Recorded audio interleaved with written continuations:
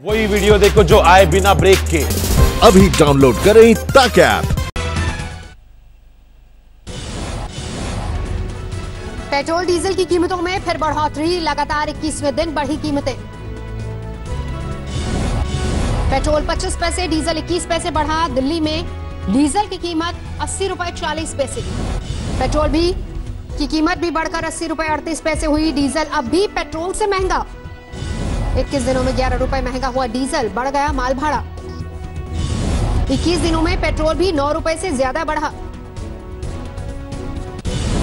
देश में जारी है कोरोना का कोहराम। पिछले 24 घंटे में सामने आए 17,000 से ज़्यादा नए मामले चार लाख नब्बे हज़ार के पार पहुँचा कुल आंकड़ा पिछले 24 घंटे में 407 लोगों की मौत अब तक 15,301 लोगों की जान ले चुका है वायरस।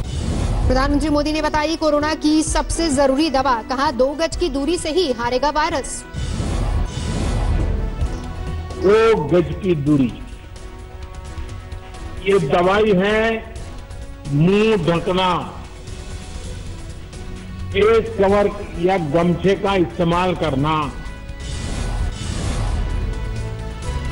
महाराष्ट्र में पिछले 24 घंटे में 4,841 नए मामले एक लाख सैतालीस हज़ार के पार पहुँची मरीजों की संख्या। अब तक करीब 7,000 की मौत।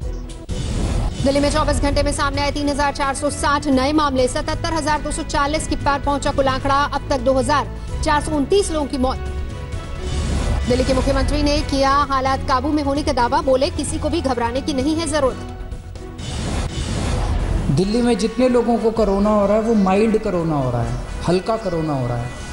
कोरोना होता है वो ठीक हो जाते हैं। उनको अस्पताल जाने की कम लोगों को ज़रूरत पड़ रही है। दिल्ली के स्वास्थ्य मंत्री सत्येंद्र जैन ने जीती कोरोना की जंग। रिपोर्ट नेगेटिव आने के बाद अस्पताल से मिली छुट्टी। दिल्ली के राधा स्वामी सत्संग भवन में 10,000 से ज़्यादा बेड का कोविड सेंटर तैयार। आईटीबीपी संभालेगी व्यवस्था की कमान।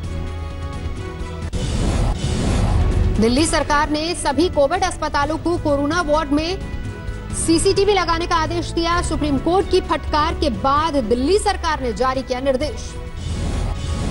गुजरात में कोरोना के मामले 29,500 के पार अब तक एक हज़ार सात सौ तिरपन मरीजों की मौत। केंद्रीय स्वास्थ्य मंत्रालय की टीम ने अहमदाबाद के दरियापुर का किया दौरा। शहर का सबसे बड़ा कोरोना हॉटस्पॉट है दरियापुर। मुंबई के घाटकोपर में क्वारंटीन सेंटर में एक बुज़ुर्ग की मौत, बीएमसी ने लापरवाही के आरोपों को नकारा। दिल्ली के बाड़ा हिंदुराव अस्पताल की नर्सों ने किया विरोध प्रदर्शन, तीन महीने से सैलरी नहीं मिलने की शिकायत। गोवा के मुख्यमंत्री प्रमोद सावंत का बड़ा बयान, बोले राज्य में कोरोना का कम्युनिटी ट्रांसमिशन शुरू। तमिलनाडु में एक दिन में 3500 से ज़्यादा केस बढ़े, कुल आंकड़ा करीब चालीस हज़ार पहुँचा, अब तक 911 की मौत। यूपी में एक दिन में सात सौ बासठ नए मामले सामने आए। सबसे ज़्यादा नोएडा में एक सौ छत्तीस, गाजियाबाद में नवासी नए मरीज़। दिल्ली में कोरोना केस बढ़ रहे, लेकिन लोगों में डर होने लगा कम।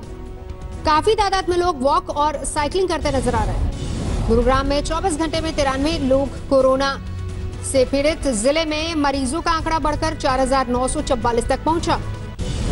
चीन के खिलाफ अमेरिका का बड़ा कदम। हांगकांग में ऑटोनॉमी कमज़ोर करने पर कई चीनी नेताओं और पर लगाए वीज़ा प्रतिबंध। चीन से तनातनी के बीच लद्दाख में एयरफोर्स के लड़ाकू विमानों ने भारी, भरी उड़ान एयरफोर्स और आर्मी का संयुक्त अभ्यास। दोनों सेनाओं के बीच तालमेल बढ़ाने को लेकर सरहद पर एक्सरसाइज मालवाहक विमान फाइटर और हेलीकॉप्टर्स भी शामिल। एलएसी के करीब संचार के कामों में तेज़ी 134 डिजिटल सैटेलाइट फ़ोन टावर लगाने की योजना। लद्दाख में सड़क निर्माण में काम भी युद्ध स्तर पर पूरा करने की तैयारी झारखंड से बुलाए गए करीब 11,000 मजदूर।